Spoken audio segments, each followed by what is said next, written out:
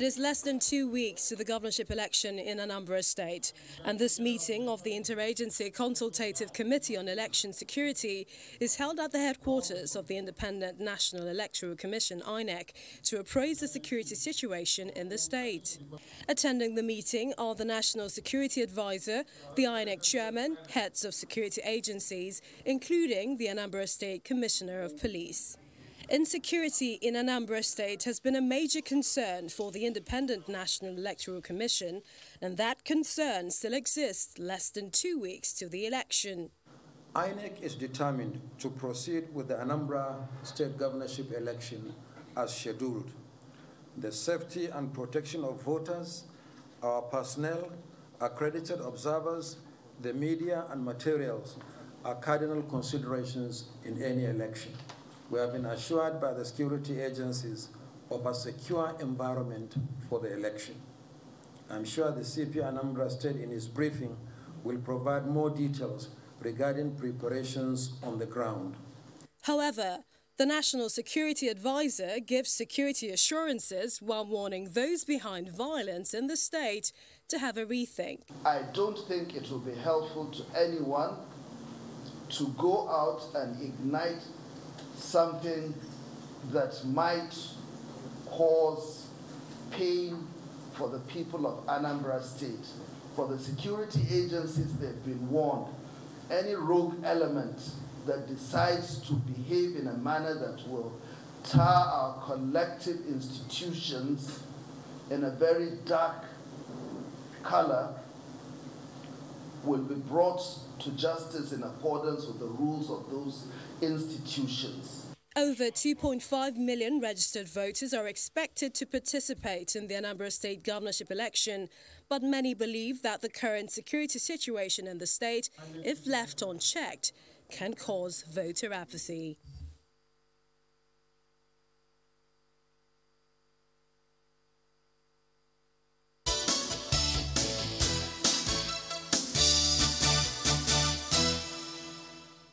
Hopefully, we are not done with uh, e-Naira. We still hope to come back to it as soon as we have the CBN. But for now, let us have a conversation with Alfred Onanubo, who is a forensic security expert, concerning the uh, Southeast security that's been in the news for a while. Thanks for joining us this morning, Mr. Onanubo.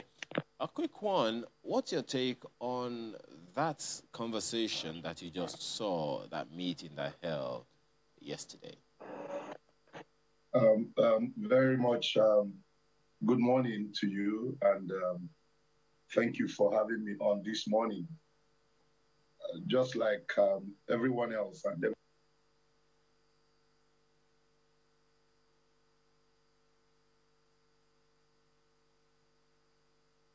uh, you may have muted yourself, uh, Mr. Onanubo. You want to try again?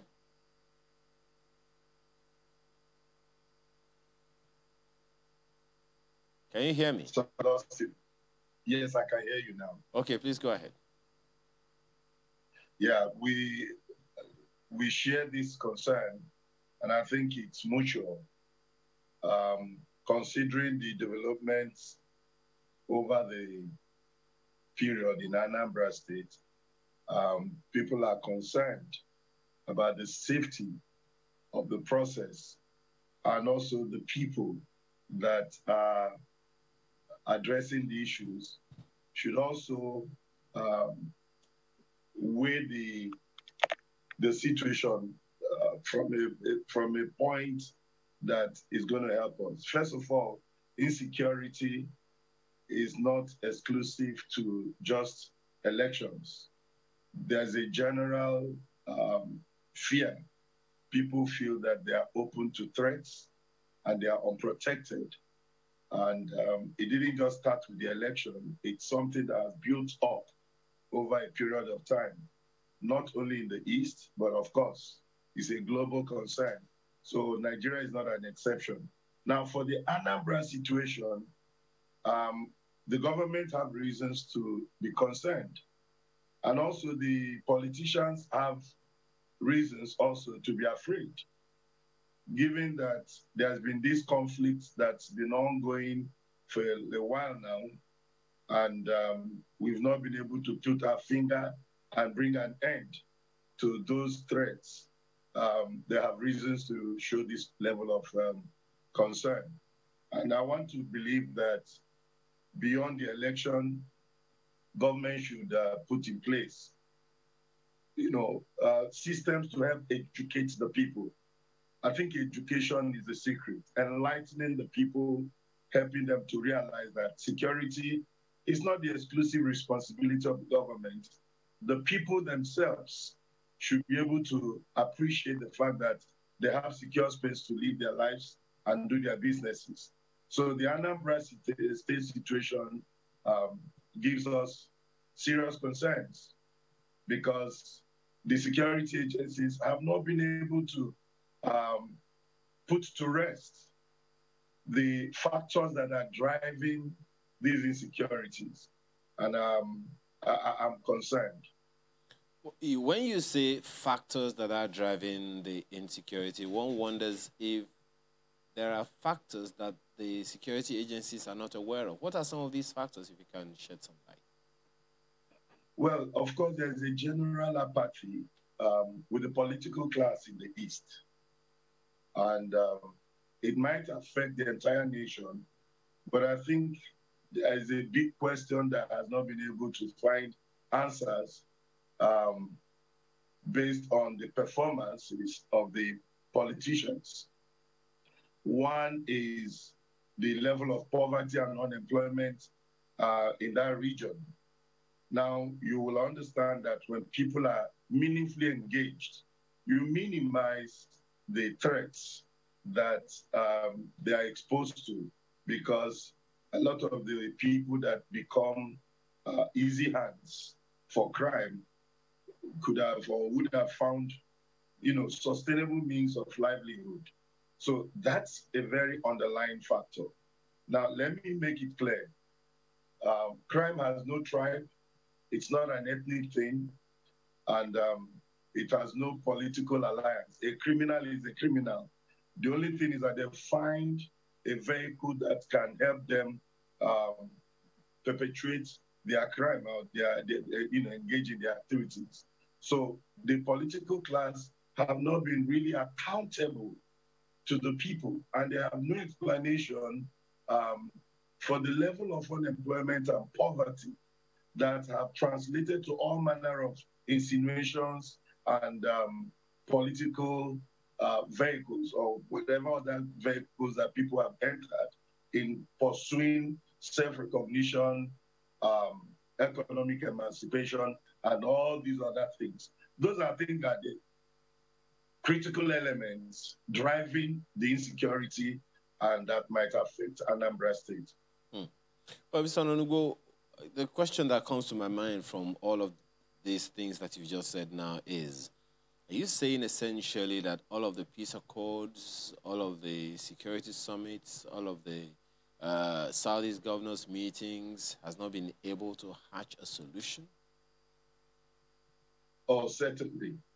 Um, you, you, you will understand, and um, I'm respectfully going to say this. A lot of the politicians in office today were probably not elected on public or popular mandates. Um, there is a role the political parties play. They bring people that probably appeals to some interests and then puts them forward. And of course, they have their machineries to provide and produce such people as leaders. Um, for people that recognize leadership driven by merit and integrity, and I think that is general, it's a global thing. Once you begin to manipulate and shortchange uh, the mandate of the people, you create um, a, a, an atmosphere of anarchy. You, you, it might not, you know, get to the peak, but it progressively gets to where it becomes um, a general issue. Um, the, the, the process, the democratic process that are often breached in selection and election of leadership seems to be one factor, one out of many. And also that also might inform why political office holders fail to give, you know, acceptable accountability of themselves. Their performances leaves many people with questions. That's one. Two, um, the situation where people are political contractors, which means they become vehicles that determine who becomes party candidates and officials of government because they have the control of the resources and also influence on the structures of the system because they fund them is another challenge. So these are little, little things that are behind the build-up. So even if a credible candidate emerges, those who benefit from this other system that is uh, bereft of integrity will definitely fight back because they don't want to lose out. They want to remain relevant. They want to also feed from the system. So I think until we realize that uh, popular mandate should be the procedure and then should be the process that produces leadership, um, we, we might have more conflicts, you know, brewing in the system. How significantly do these issues that you have raised feed into the fears being created by the threats of sit at home and all those things by pockets of groups all over the southeast? Well, you will see that there are several individuals who are working and um, campaigning to be elected to those offices. Now, the question will be did these people come through um, an uncompromised process? That's one. Two, how will a man that spends so much to get nominated and spends fortune to get elected have the resources, have the time, and uh, be devoid of the pressure to develop infrastructures, economic, you know, uh, infrastructures, social platforms that can accommodate the enlightened and educated uh, youths. Anambra is known for, I mean, uh, like I would say anytime, any day, it's the leading industrial state in Nigeria. The things coming out, of Anambra is unimaginable. And yet, a good percentage of these people are doing so on self-help. So they are seen as examples so people tend to believe more in such people than a political office holder who is just a public administrator of resources. So the, the, the youths are caged, they are trapped. They don't see well, you know, um, oiled policies from the government that guarantees them a future. Secondly, you also realize that from history, it's like whenever a new government comes, they jettison the programs that were set up by the previous uh, administration and start new ones. And many times these are just self-advertising, uh, self-publicity projects. So when that government leaves, the next administration will initiate something totally new. So the people don't get to benefit from government investment in development. So it's affecting the youth because they are the ones who can't get jobs, they can't make meet their own needs, they depend on their parents or their, their, their, their family members to survive. And when you become a liability socially in a, in a culture where um, achievements are celebrated, success is like a medal, a gold medal, it, it becomes worrisome. Mm. You know, uh, it's quite interesting. I mean, linking insecurity to the electoral process, and when you talk about the mandate of the people, you know, popular mandate and, and, the rest. And, you know, it's quite interesting because speaking specifically about Anambra now, Anambra is a peculiar state because that's a state where you have a party that is outside the big two, as they call it, the APC and the PDP, uh, governing a state. So, I mean, to that extent, people will tell you that, well, clearly it would seem the party has the mandate of the people for it to, you know, wield such influence in the midst of the APC and the PDP and to become governor, not once, twice. So uh, that, that's a peculiar state. But then this is also quite interesting because from what you say, it will then mean that for us to solve the insecurity which we see, perhaps not just in Anambra, across the country, we need to go back to the selection process. I mean, beyond the kinetic approach, we actually need to think back, and, and, I'm talking within political parties, how, you know, leaders are elected, how they come up, people's participation in, you know, that electoral process. I mean, take a look at voter turnout. INEC says between 30 and 35 percent we had in 2019. So not enough people even come out to select their leader. So that there's a question around, I mean, just 35% electing a leader that will govern the whole 100%. But for you as a security expert, I wonder when you're consulted, because I know from time to time uh, you have to consult maybe for state executives or uh, people in government. Do you, do you put these forward and say, well, let's set aside the kinetic let's talk about how leaders emerge in the first place. Are people happy with government? Are these issues that you bring up? Um, yes, I when I have the opportunity, which is rare, because I think um, it, it, sometimes it's about the personality and the interest of um, the candidates or the, the winners of the elections or the politicians. If they want honest consultancy services, I'm sure beyond myself, there are many Nigerians who are as concerned as I am.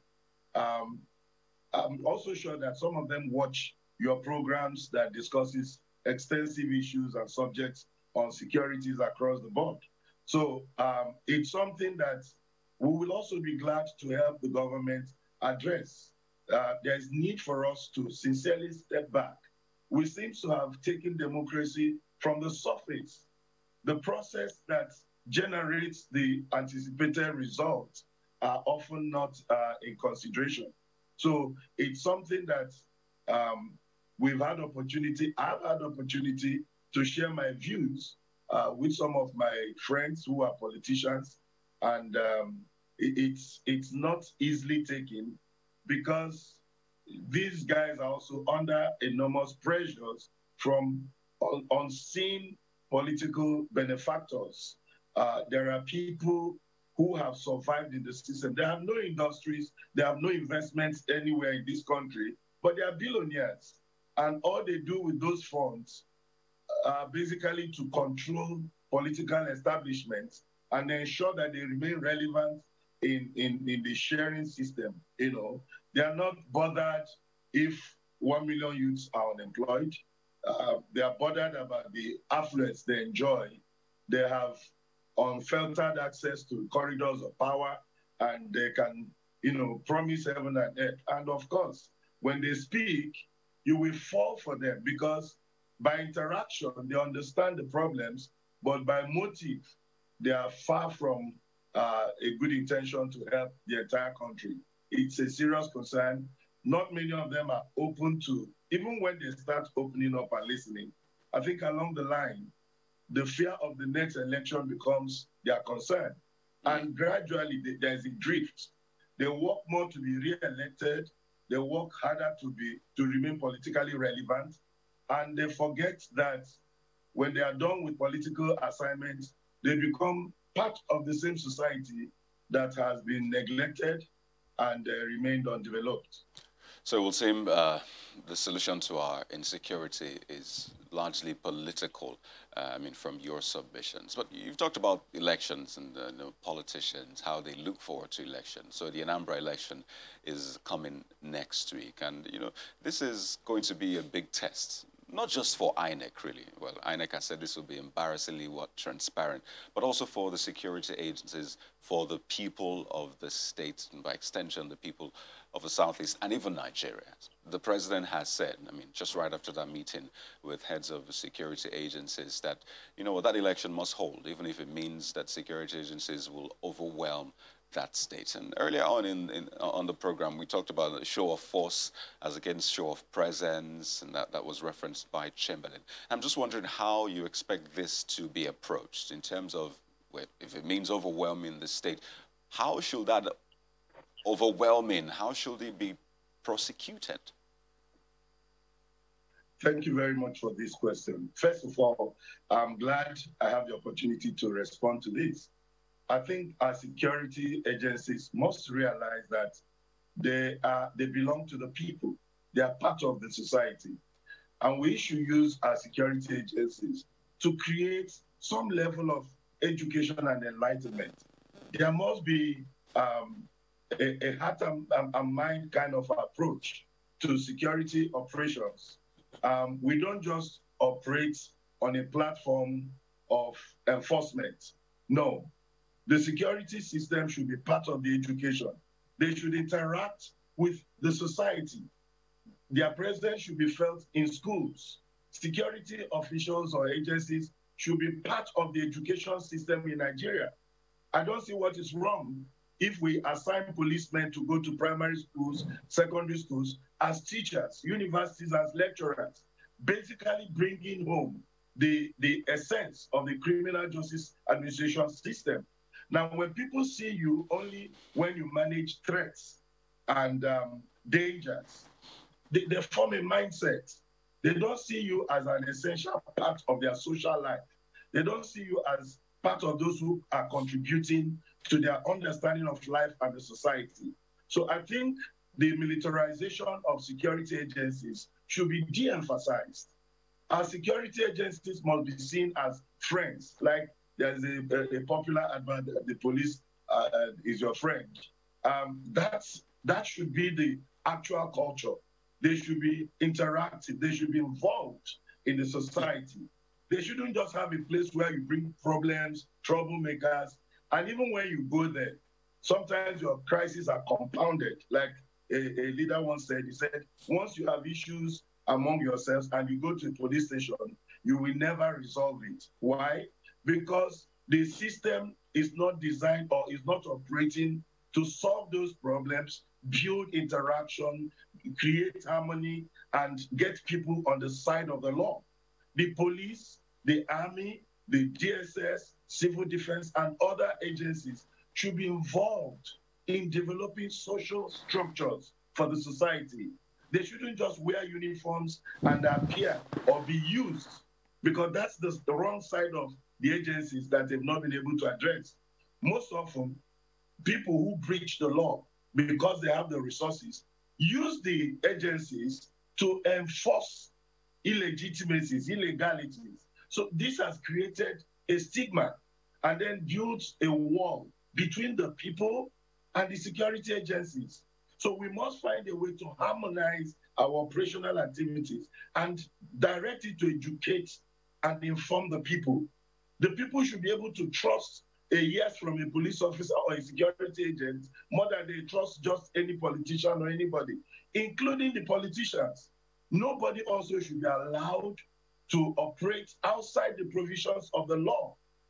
Now, where a, I'll give you an instance where, let me even use traffic laws, where politicians use siren and, you know, run against traffic lights in the full glare of the public with police escorts or military escorts or any other form of security escort is a bad sign, it's a bad culture. We must eliminate these things. If we don't do that, people will not have that confidence that when a policeman or a, a soldier or any official of the law is standing, that they are safe. So we there are there are lots of moral issues. There are also professional and technical issues involved. The, the system should develop values. They should put the interests of the people above the, the, the expectations of a very few. So those are some of the things that um, I, I expect that the law enforcement agencies should begin to look at. How can they develop relationship and build trust? It's a project. It has to come from their research institutes. It has to come from uh, sociologists. It has to come from uh, the academia. We must help the security agencies to build a social bridge with our society. Now, where the security agencies are, you know, perceived as threats, people feel insecure. They don't feel the warmth, you know, they don't feel like we own this system. It's there for us. Uh, then we are far from achieving security. Because when threats come from both sides, sometimes you don't even know who to hold responsible. There are things that happen and um, it escalates. You'll be wondering, are the agencies fail, uh, failing their, on their assignment, or is it that the people do not even understand what the law says about what they're doing? So there's this imbalance. and we must bridge that gap. Well, you talked about education um, for security, security education, so to speak. It will interest you to find out that uh, in Nigeria today we teach security education as a subject, GS1, GS2, GS3. I don't know if it extends to SS. You know, a number of things are taught, including relating with security agents in school, in preventing crimes and all of that. But you know, when you talked about the policies that need to be put in place and all of that, ultimately it has to come from the same political class that you say people have issues with, people don't have so much confidence in. The election in Anambra is just about, about two weeks away. What then are the options before the people? What would the people, what do you suggest that the people should do now? Uh, candidates have been put out there. PVCs are yet to be uh, circulated by INEC. A day is going to be given you know, for that soon. What, in your opinion, should the people be targeting now? There's a dilemma of security. There's a dilemma of an election that has to hold. What are the options? Well, um, I, I, I like to say that the the the con, con, the concerns are not just about this election. We should begin to see the challenges beyond this present election. The election has to hold, and um, because it must hold, we expect that the security agencies will put in their best. They are human beings, and I'm sure they don't want to come out of that election with um, failed results.